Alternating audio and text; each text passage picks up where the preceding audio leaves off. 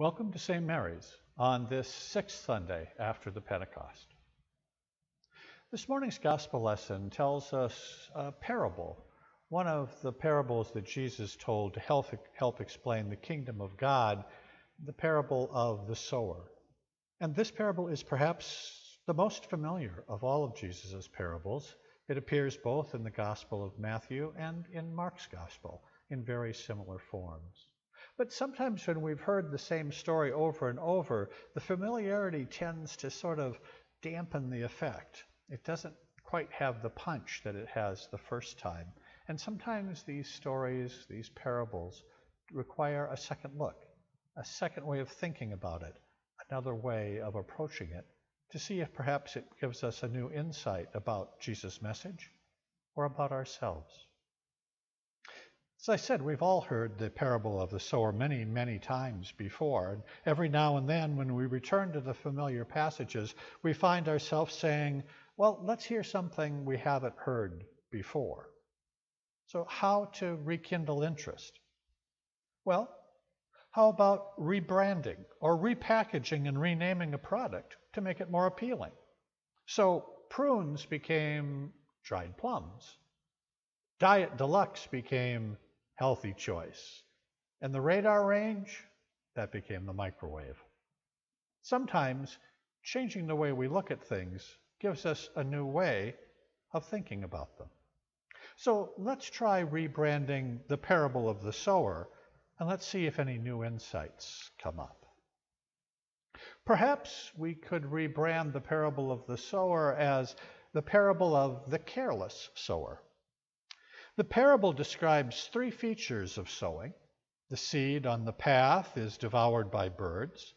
The seed on the rocky ground is scorched by the sun because it has no roots. And the seed sown among the thorns is choked. Some of the seeds fall on good soil and bring forth grain, some a hundredfold, some sixty, some thirty.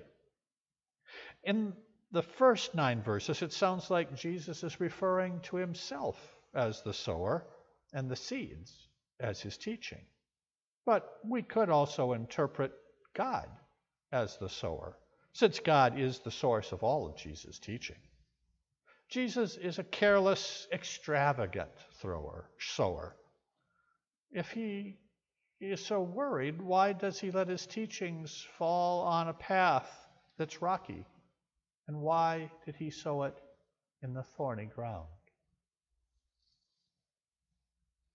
Perhaps we could also think of this as the parable of the good soil. In Mark's account of this parable, it concludes with the seed that fell on the good soil yielding an ever growing harvest. Mark says of the seed that fell on the good soil that it grew up and increased and yielded 30 and 60 and a hundredfold.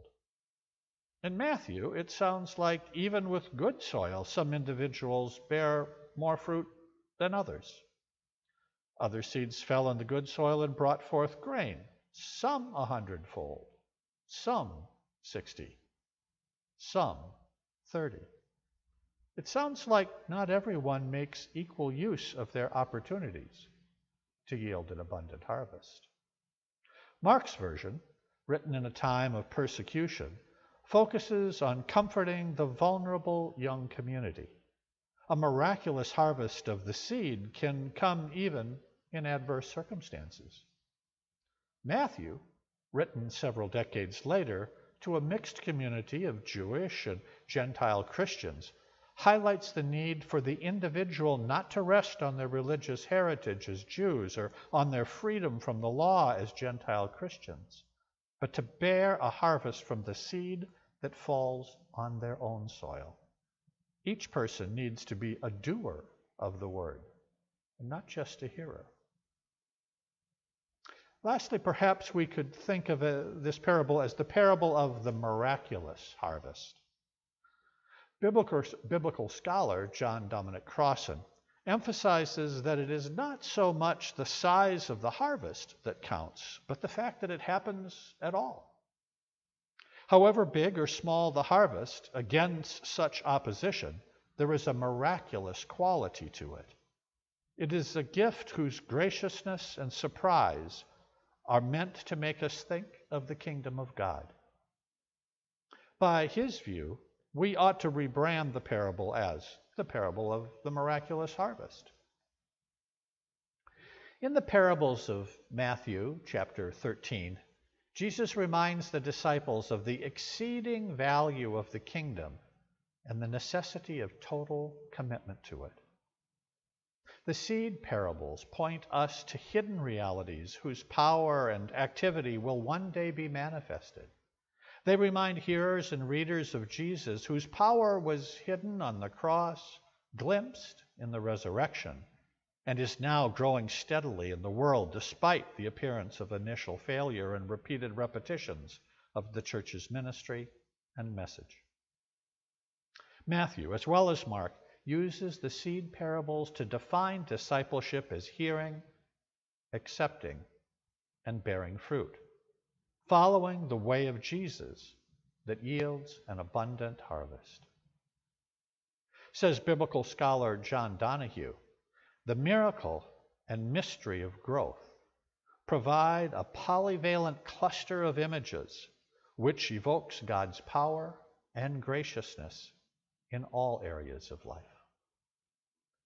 The parable of the careless sower, or the miraculous harvest, or the good soil? Which do you pick? Which speaks to you? Which reading touches your heart? Which will let you hear something we've never heard before?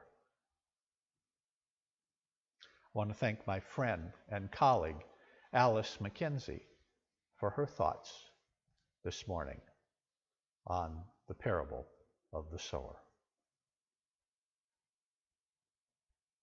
Let us pray.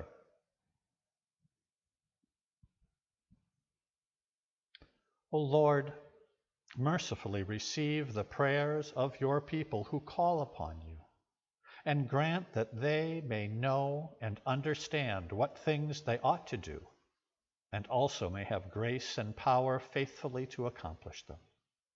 Through Jesus Christ our Lord, who lives and reigns with you in the Holy Spirit, one God now and forever. Amen.